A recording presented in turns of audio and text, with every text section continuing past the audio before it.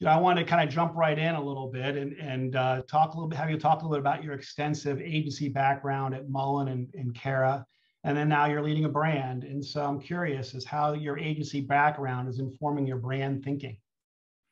Yeah, no, great question. And I think it's, it's always, there's people that kind of start in the agency business, head to client business. And, the, you know, the big question is always, you know, what kind of client am I going to be? And, trying to balance the kind of client for an agency, you know, and we do, you know, Dunkin' has a, a very large agency, you know, working for us, uh, a lot of people.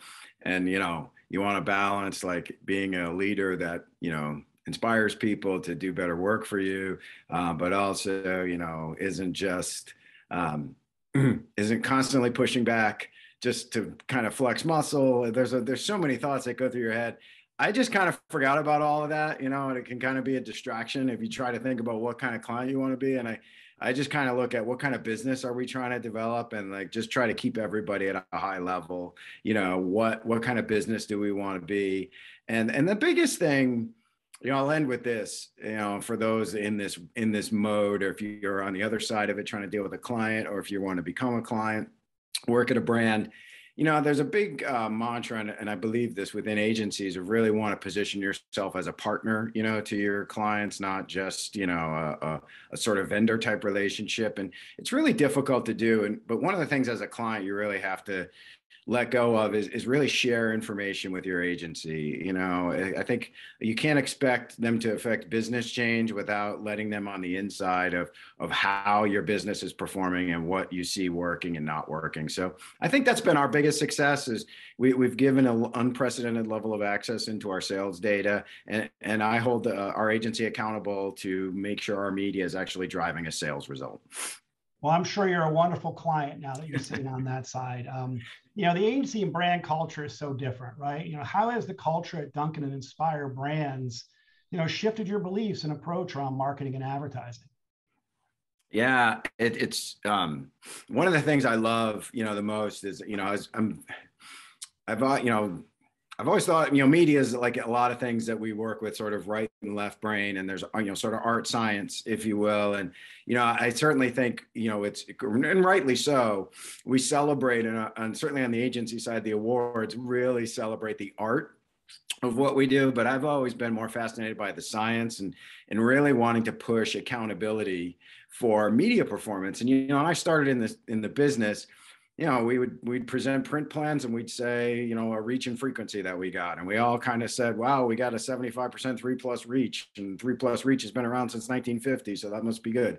And, and I really wanted that level of curiosity to like, how can we really start tying media performance, you know, to um, our sales and you know, working in CPG, you know, is a good tour of duty for anybody on an agency side because there, you know, certainly a lot of um, econometric modeling and there's a lot of resource there to, to determine that. But one of the things I felt with econometric modeling that is a gap is it is modeling, you know, and it's not a direct attribution. So I've always been a fan of kind of attribution level work. And uh, so therefore, I think what I've really tried to focus on and and what I've you know spent time on the brand side now is how do we really look at our media buys in terms of being able to drive traffic? And and and in this setting and when we talk about QSRs for the most part you know we own our end to end we own the retail location you know cpg is delivered through third parties and, and, and, possibly even delivered through Amazon. And there's not necessarily attribution to the physical showing up at the location back to tied to where um, people saw what ads they saw before they went in there. And I think that's a real benefit for QSR is understanding that closing the loop from you know exposure to ad to actually showing up at a restaurant. Like I said, some challenges with that. There's some combo locations some of you may have. Um, there's also you know delivery you know can play into that a little bit too. But I really do believe that the you know showing up at the restaurant gives us an advantage in measuring our media performance. It's interesting, you know, after talking to you a little bit, you know, this past weekend we saw a lot of challenges and challenger thinking on the football field. It's changed quite a bit. You talk about the benefits of challenger mindset. You know, how does that reflect in your personal brand and then your thinking day to day at Dunkin'? Yeah, it's funny. You know, I, I I, I think I kind of fell into this idea of the challenger mindset just by function of the companies I was working at. And, and a lot of our careers, I, you know, I, I, I just want to be forthcoming and share they're serendipitous. I mean, we try to plan out what's going to happen, but sometimes things happen and we adjust.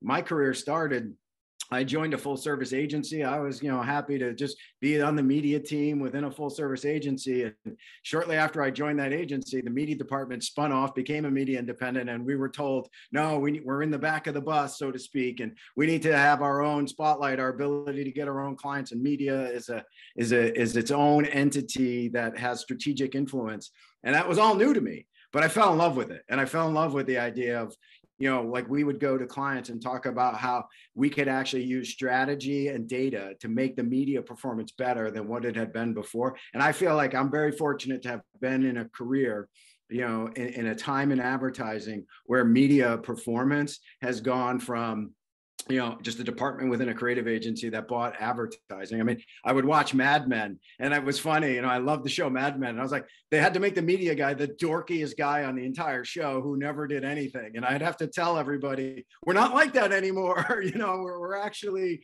making a big difference. So I feel very fortunate to have um, you know, been been brought into this um, media independent world and it makes you think like a challenger. It makes you realize like i'm challenging the status quo that media can actually be something worth paying an agent separately agency separately to lead that for my company and not just buying right? That was the big change that i, I saw was you know media used to be about like who could get you the best buying efficiency and you know i worked for david Verklin in the aegis network for a long time and you know he kind of said look i feel like you know a lot of the consolidated buying things like upfronts is a bit of a misnomer that their clients think there's more benefit in buying you know efficiency than there really is. So i my first challenger mindset was to go to clients and say there's not just one e you want to measure there's two e's. So one e would be efficiency but there's another e no one talks about which is effectiveness which gets back to my point about you know it, um, being uh, looking at how your media performs like we really need to start talking about effectiveness. So that's really how i've thought about being a challenger is you can't look at things through just efficiency right? Because when i first joined dunkin' you know one of the things we're doing to try and get better media performance was shorter commercial lengths buying more cable buy less prime and, and you can't just efficiency your way to the bottom. Sooner or later you're going to spend as little as you can. You have to think about what is actually driving performance that's to me what a challenger is. And I'd say to anyone here on the agency side, we used to talk to people all the time like, challenger can feel like a limiting word if you think about a challenger brand only through the lens of an ad budget. All right. Like it doesn't just have to be, you're not just that you can be the top spending um, person within your category, but if you're still challenging, you know, the status quo and challenging the audiences and, and how your brand grows, you're still a challenger brand. It's not just about ad budget. Yeah, I think it's terrific. I mean, I think that's really caused a lot of your media partners to look at it differently and perform differently and have different discussions. Um, yeah. I wanted to kind of move over to the brand side a little bit. You know, throughout your career, you've identified new ways of engaging consumers. You've proven you can find those unpaved roads. What does that look like in the QSR world? Yeah, it's it's it's kind of interesting.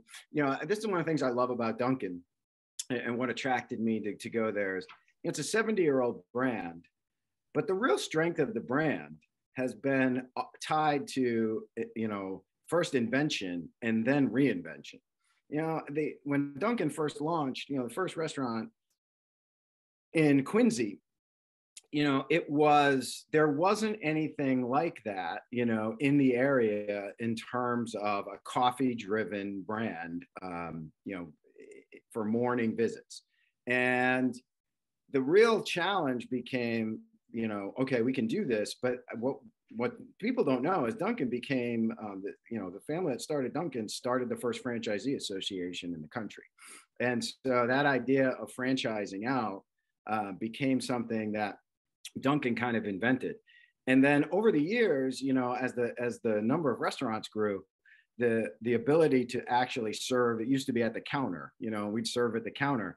Dunkin' has officially transformed its business now where it's not about sitting down at a counter and getting served. Our whole business model is speed and it's about getting in and getting out. And, and it, it manifested itself 15 years ago when we launched America Runs on dunkin' and run being a key word, you know, in that equation. So what I see changing the most, you know, or, or backing up for a second, Dunkin' is actually a change leader, you know, in our industry, and that's what attracted me to the brand. And and you know, rewind a couple of months ago, you know, a couple of years ago, you know, certainly uh, COVID has impacted Dunkin's business tremendously. We're a brand built around a morning commute.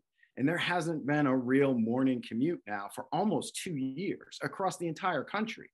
And, and we had to reinvent ourselves with new day parts, new products, and, and really reinvent how Dunkin' makes you run, which has led us to a whole new opportunity to think about what does running really mean in the future? Does it mean this constant rat race I'm running to get ahead? Or are we really redefining what my run really means to me? And that's our that's another great opportunity. So I just think every day there's a new challenge and, and restaurants can reinvent how they view themselves with their customers, right? And, and how they fit into their routine and lives.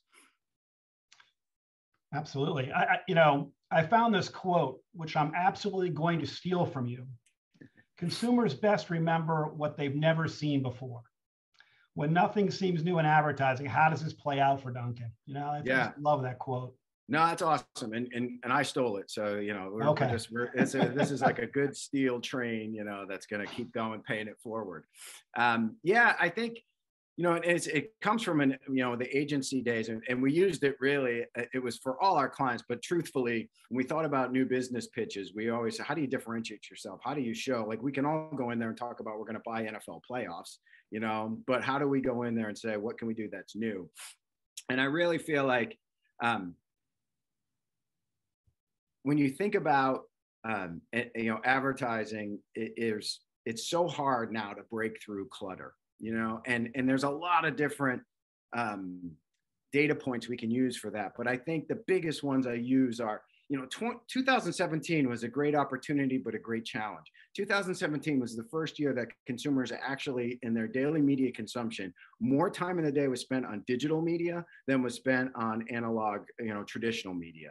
And that was a real seminal moment. But the thing about it is, we go to more digital media, we give there's consumers more in control of their content. It's more opportunity to just ignore the advertising become a little bit of wallpaper. So i kind of feel like we another saying i'll give you if you can steal it if you want it, well, the, the next thing that came after consumers best remember things they haven't seen before was we have to have the courage to write plans that work in the marketplace. Don't just look good on paper and i think a lot of times we get comfortable with this word flow chart and while no one ever got fired when they show 100 GRPs a week for three weeks in a row and at the launch, and we've done it for 10 years and always works, I really feel like you have to challenge yourself to say, how do I put my brand into places that it's going to be something consumers can't miss? And it's truly going to be a, an ability to change their perception. The company you keep, right, matters almost as much as the impression you get. Hmm. Interesting. I want to switch over to your loyalty program, which has been so successful. Can you talk about the DD Rewards 2.0 and what it looks like? Yeah, and, and thanks for asking. Um, it's funny, actually, going back to one of your earlier questions, we talk about Dunkin' and, and, being a challenger and being an innovator. We were the first restaurant brand to even have a loyalty program. You know, one of our, our competitors, for certainly that has sub-brand a, a, a breakfast uh, uh, brand within their overall brand. I won't name them, but they have golden arches. Um, they just launched a loyalty brand, a loyalty program, uh, one full year plus after COVID even happened. Um, so we've been far ahead in terms of that. And you know, I'll let everybody in on a secret because I feel like you ought to get something out of this if you're paying attention. You know, because I don't want people to feel like the pressure of like, oh, I got to hit a home run with every idea. Here's the truth with the loyalty program. It started as a payment plan. It was a way for people they join the program they could preload funds and they could order and they could pay through the app okay? That that was really the genesis of the idea was giving people an easier way to pay all right? And but it, it, it has morphed from there to become an opportunity certainly for us to reward people uh, for their um, you know the, the loyalty that they give us. I think you know, during COVID, obviously we've seen more people join that because more people are um, using digital as a form of order ahead. And I think where our opportunity is and what you're going to see moving forward, I don't want to give too much away, um, but I think some of the opportunities we have are one, our reward program is great, but it's it's based around beverages, and and when you um, buy earn enough points, you earn a free beverage. All right, and what we'd like to do is have people use that loyalty program the way they use other loyalty programs, stack points and use those points for a multitude of purchases. The, the, most successful loyalty programs, we take a nod from the travel industry, you know, allow for that kind of like hoarding of points and then spend them on the things and when I want. So having things that the points that last longer, having the ability to buy multiple things, I think that's going to be the kind of thing that people are looking for for our program. And and and I, I won't give away the, the farm, but I can tell everybody here, keep your eyes peeled. Um, the back half of this year, we have some major news around our loyalty program uh, and how that's going to evolve. Uh, it's something we've been working on with our franchisee partnership now for over a year and a half, and we're going to be excited to, to kind of roll that out as the year progresses. I wanted to see if we could shift a little bit to brand creative. You know, Dunkin's new creative agency, Anomaly, is known, you know, for edgy strategies, imagery, messaging. You know, how excited should we be for what's coming? Yeah, no, I, very, because I'm very excited. and, and I think when we, we looked at, you know, certainly there's a, an obvious correlation of change in, you know, company, Inspire Brands buys Dunkin', you know, in January of last year. Um, we have, you know, new marketing leadership, a new chief marketing officer, uh, and Rafael Acevedo. And, and I think, you know, those types of things definitely lead to a reassessment of your brand and and I think it was really an interesting time. I, I mentioned earlier this the word run, and, and we looked at the America runs on Dunkin'.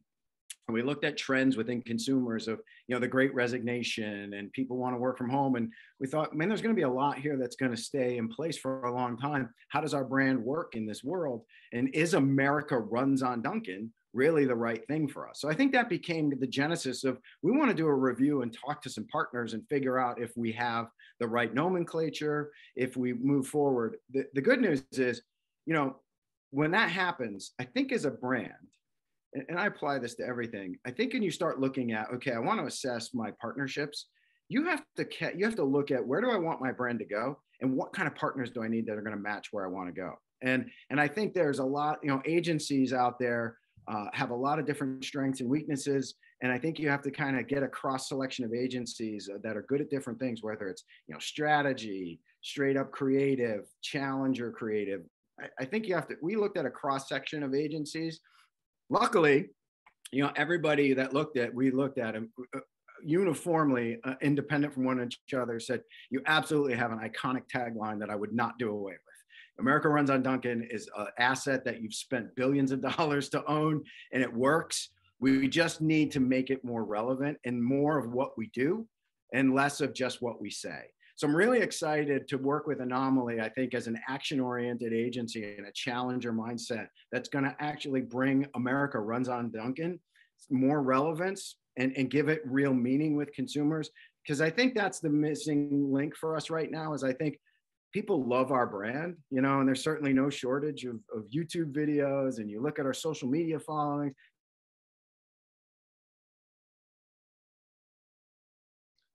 Keith, I think you froze there. Oops, sorry. That's okay.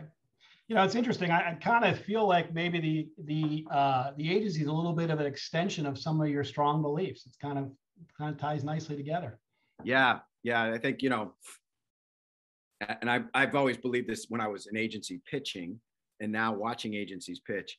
You know, you're certainly leading with your ideas. You yeah. know, and and you're, and people will love an idea and they'll buy an idea. But more, nine times out of ten, they're really buying a team and a way of working and a way of thinking. So I think when you pitch to clients, you know, you have to nail a great idea, but you also have to nail how you're going to constantly work with clients to evolve their business. And mm-hmm. really excited to work with the Anomaly team. I think they, they have a lot of passion, excitement for our business, and and I think just looking at it in ways that we haven't looked at it with our previous partners before, which is really exciting.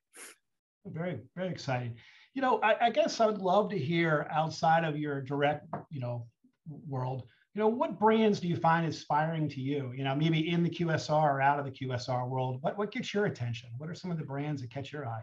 Yeah, I mean, going, I, you know, sort of being repetitive, but going back to what you said before is, you know, I te- I really kind of notice. I love things that I've never seen before, you know, and that really kind of catches my attention. Now, look, don't get me wrong. I still I love good advertising. Don't you know? Don't get me wrong. But I feel like in crowded categories, in QSR, in crowded advertising categories, let's say, QSR certainly in that boat. It's it's really hard for consumers to remember. They see a great ad and they love it, but they don't even remember who it's for. And I think you know telecom can fall into that trap too. I even you know you see a funny ad and you're telling a friend about it and you say one company, you go back and say, oh shoot, that's actually a different company. You know, so I think great advertising is is great, but I don't know that it sticks as much as great you know sort of placement. And so I'm kind of a, a, a, a slave to the placements that I see that I think are interesting and different. Um, so, to, you know, to that end, I haven't seen anything recently that's really grabbed my attention as, whoa, you know, that's sort of, that's different and, and exciting. And, and I never saw that before. Um, you know, but I, I've, I've long admired, you know, challenger brands out there that I think do work that, that I've never seen before. I think in the travel category, the JetBlue brand, you know, it does a phenomenal job of punching above its weight and and and and not trying to compete on a like for like with television commercials, but actually does great uh, idea driven campaigns. I've I've always enjoyed uh, their work. Um, you know, I credit where credit is due. Uh, I was in the footwear category for a long time. You know, I think Nike, you know, certainly challenges the status quo a lot uh, from a, from um, the work that they do. Um, you know, and it's it's interesting when you really look at it. You'd think Nike spends way more than they spend. They get a lot of bang for their buck. Um, you know, I, I, think there's a lot of good work out there from brands like that that I always look forward to seeing and and, and look at what they're doing. And, and and they're probably the brands that do stuff that make me wish, damn, I wish I'd thought of that. That's really clever. you know. Yeah, it's hard to do, no doubt. I'm going to jump into media a little bit. Um, with all the fragmentation, disruption, lack of trust, viewability, safety concerns, the list is endless. What are your overall thoughts on the overall landscape of media and how, how do you think it might change in the future? Yeah, um, no, it's a great question. Um, it's certainly getting a lot more complex, you know, and specialized um, with with biddable media, audience data, um, navigating that that minefield, you know, is really challenging. Um, I think we're right in the middle of one of the biggest transformations in our industry we've ever seen before, which is the continuation of video. You know, and and so there's kind of two things on my mind that I think are disrupting our in- industry more than anything else, and that is, you know, the the deep acceleration of television traditional television ratings declining that that acceleration but when you look at, I saw a report recently about the actual hours of original content that are available to consumers has actually tripled. So that direct correlation of like, you know, the video content used to be about gathering in places.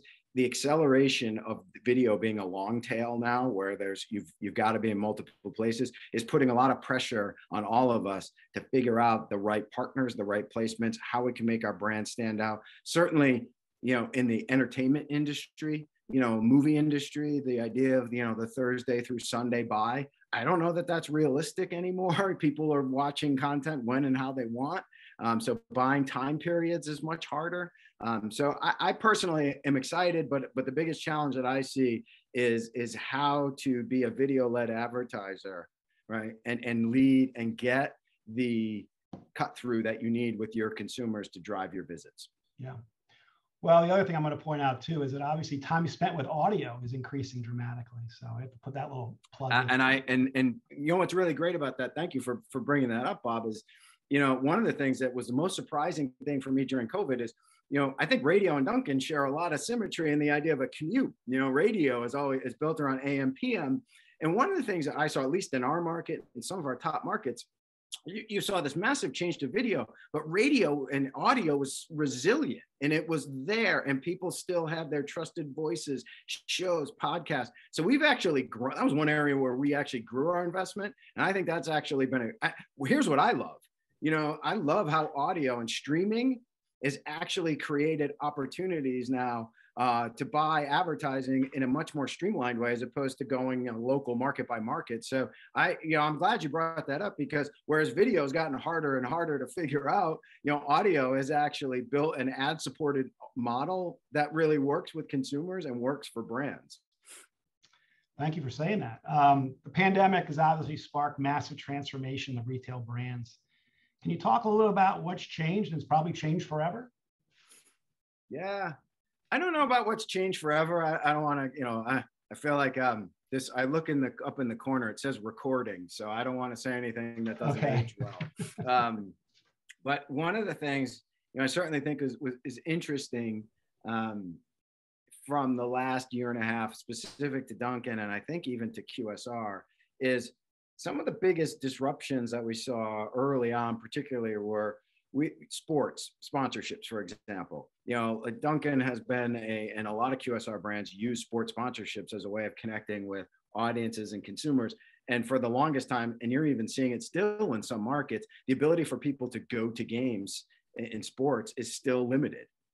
And, and, and, I'm wondering if how that might, you know, come back over time. Um, music, another area in terms of live music you know that's another area where okay how are brands going to be involved in that i think some of the other things that we saw a lot of success with is is navigation. So complementing when people are driving around and using audio complement you know the other things that are available to us now in the in the uh, automobile beyond just audio is navigation right? And, and people aren't using navigation tools as much anymore so how do we supplement that? You know for Dunkin', we've pivoted for away from some of that search really been interesting. When you think about Dunkin', it's a well-known brand. Uh, you know, search. Do we really need search? Well, there's now a lot of pressure on. Is the store going to be open when I get there? What are the menu items? So people are using search a lot more, even for known brands, just to understand how to transact with those brands. So we've seen an increase in our search bidding and performance. I think one of the things that's changed um, in terms of I mentioned a lot of content available. Consumers are certainly growing and giving more and more of their time to gaming. I think that's an area as brands we got to think about. How are we going to connect with consumers through gaming? Dunkin's made some big investments in, in that area with Twitch and, and other uh, brands, influencers. Again, sort of give a nod to radio. I think all this comes back to a little bit of like radio was the original influencer program, you know, the the the host of a radio program and the live read. Uh, I think you're actually seeing that now play out in a lot of different areas in gaming and social and so forth. So really excited to see that that sort of growth of gaming and social and influencer uh, that that's an area that I think is exciting for QSR. Yeah, local. Um, so brands, you know, they adapt to their strategies, reflect consumer behavior, right? And you touched on this a little bit, but the consumer behavior is changing by the minute. You know, how do you navigate these waters? Like, what what do you what do you do? yeah, a lot of crowdsourcing, uh, I guess. Yeah, no, it's a, it's a great question, you know, and I think the um, you know, certainly um, keeping your money flexible. You know, there's always been this sort of tension with, you know, to get efficiency and, and more important than efficiency, just to get inventory that you're going to need, you commit to it far in advance. But then, you know, how do you react to business needs? It becomes a little bit difficult to optimize when you're optimizing stuff you own as opposed to optimizing stuff you need. And, and I think that's been a challenge since I've been in the advertising business, and, and that hasn't really gone away anytime soon. Um, so I think you know eh, that that part, you know, uh, you know what I'd love to see. I mean, I you know we're on the on the on the buy side as opposed to the sell side. There's always been this tension of like, wow, I'd like to see more flexibility when I do my buys and and my ability to change things, um, you know, and, and not have to commit everything in an upfront process. Um, that part's really difficult to navigate. Um, what I think you know, from from our perspective, um, you know, one thing is how do you get da- real data to be able to make decisions, you know, on a on a real frequent basis, so you're not guessing. So one of the things, we're, you know, in our business model, we're really fortunate is, you know, we have daily sales data. I mentioned early in this call, Bob, like, we, you know, getting our agency hooked into that daily sales data and really understanding, you know, that sales data versus the week, month, or year prior and what were the real changes and what was a media change that happened and then allowing you to say here's what we need to do differently. Um, like i said you know loyalty is a huge thing. The brands are trying to develop loyalty programs because that's your most fertile first party data you can get your hands on right? And the more that you can use first party data to have direct communications with customers outside of media that you have to buy far in advance the better off you are as a brand. So again i think everybody wants a loyalty program, but you got to figure out what's a healthy exchange with my consumer. But loyalty programs are great for first party data and great for allowing you to make more flexible media decisions. Excellent. Keith, we've had some questions come in that I want to yeah. share with you. Um, Regis asked, you know, can you elaborate on the specific strategy or format that you had the courage to activate that actually worked and didn't just look good on a flow chart? Yeah. On your quote. It's a good question. yeah. Yeah, no, I'll, I'll, give you some of the more recent ones that, that I, am really excited about um, in the last couple of years. Um, first of all, in um, I mentioned in when COVID first came around, one of the partners that we worked with was Google in their navigation product, particularly with the Waze brand. And one of the things that was a real advantage for Dunkin' was having drive-throughs. Lobbies were closed. We all remember those days. In some markets, lobbies are still closed. Um, but Dunkin' versus some of our competitors particularly the Seattle uh, Green Mermaid lady, uh, more drive-throughs was an advantage for us. So we actually partnered with Waze early on, and, and you know we use those navigation pins, and those drive people into a Dunkin'. We changed the pins to have they used to have value offerings we changed the pins to show where we had drive-through locations and we saw an uptick in the amount of visits to those locations just by simply letting consumers know they could go to a drive-through there so again talk about things consumers had never seen before, had never seen a drive through pin before. And when they saw that, we immediately saw more visitation. I'm also really excited about this, this notion of when you think about connecting with younger consumers, certainly you have to think about formats you know uh, music gaming those are formats that connect with the next generation of consumers.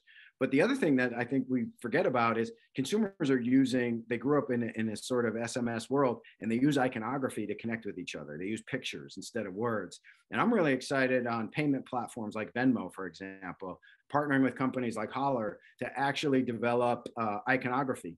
Um, and we did a test this earlier uh, excuse me uh, mid last year where we actually put some of our symbols and, and, coffee symbols when people were Venmoing money or you know sending money to friends to meet for coffee. That's a common thing, right? Meet for coffee. We actually got into that space and, and, and saw some great, uh, very very low, probably I would say one of our top three performing partners in that time period for what we call cost per incremental visit. So what I'm really excited about that that like I said wouldn't look good on paper, but look good in actuality was, you know, iconography around with Waze using new platforms um, like Holler for Venmo, those types of things really had a material impact on our business. Yeah, I think my daughter's got Venmo down as a college freshman. So, um, my, so mine too. Mine too. How are you thinking about customer loyalty versus acquisition? We touched a little bit on it. Um, are you focused on one more than the other? Boy, one more than the other.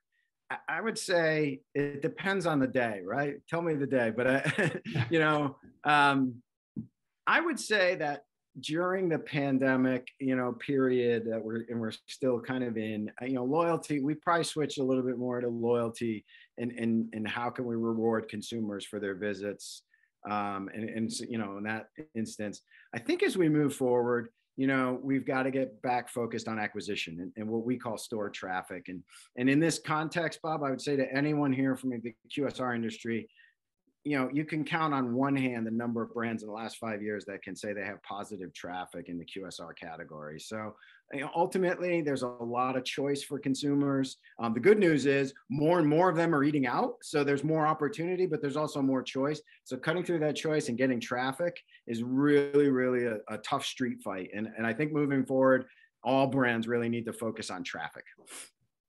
So you mentioned sports sponsorship. You know, what is the new best practice there with you all? Yeah, it's it's interesting. Um, you know, I think for us, it's just about you know we just have to broad like like media. I think sports sponsorships we have to broaden our our our what we call a sports sponsorship. So you know, Dunkin' five, six years ago, sports sponsorship would have meant working with a local professional sports team. I think nowadays, a sports sponsorship means working with a college athlete as an influencer.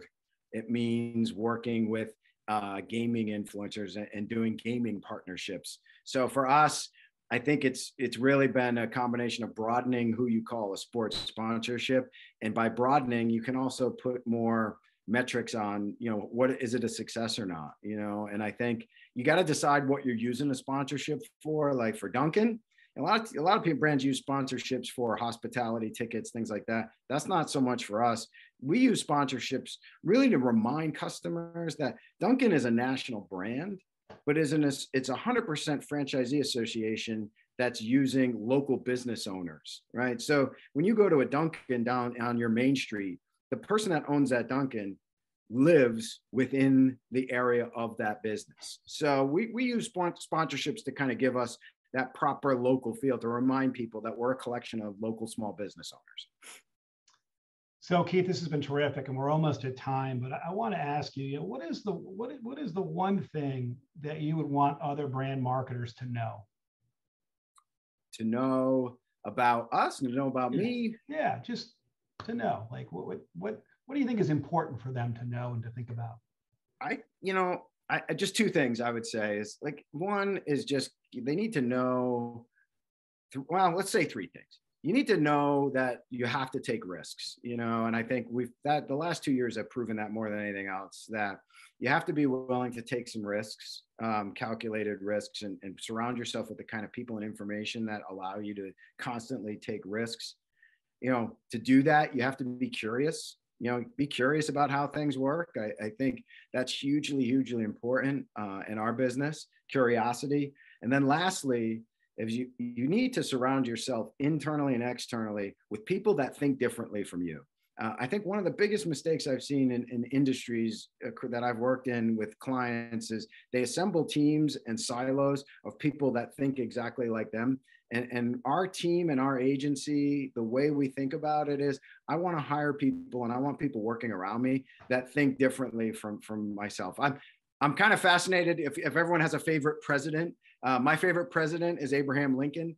And I think that that was a fascinating case study and books written about his surrounding himself and his cabinet with people that he had just beaten in an election. And I think that was really what led this country through one of its most difficult times. So I think there's a lesson to be learned in that history of, of, surrounding yourself with people that think differently than you and not being afraid of that.